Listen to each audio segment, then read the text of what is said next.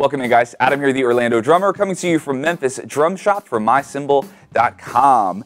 And let's talk about this crazy ride right here in front of me.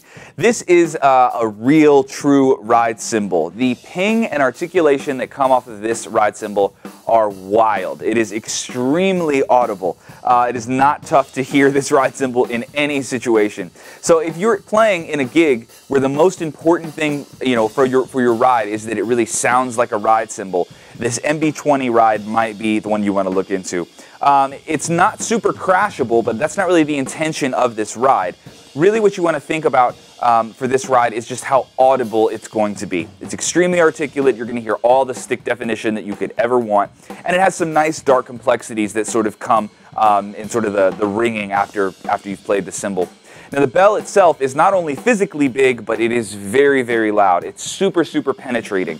I like the fact that it's a big bell because it's easy to actually aim and hit the bell with your stick, but it's also, you know, extremely loud. The frequency is still pleasant. It's not like a, a painful um, type of ringing, but man, you're gonna hear this bell through absolutely any mix that you have going on, whether that's in the studio or live. Uh, this is just a highly audible ride cymbal and it's got a killer um, volume to it for sure. Again, that's the MB20 22 inch heavy bell ride. And if you want this exact cymbal, you can get it only right here on mycymbal.com.